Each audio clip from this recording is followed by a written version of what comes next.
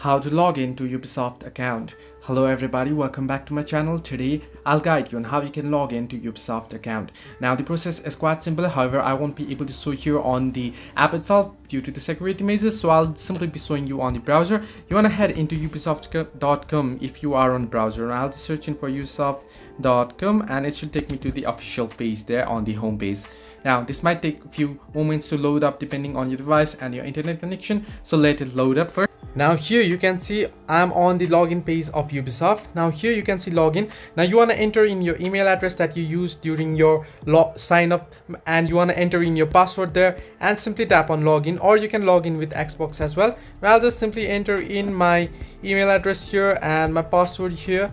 And once you do so you should be able to log in if you have entered in the correct details that is. So this way you can easily log in. Now you can see i entered in the invalid email address or password. I simply forgot my password here but you'll be able to log in easily through here. So this way you can log in to ubisoft account. Hope this helped you. Do like and subscribe and do not forget to leave a comment down below if you have any further issues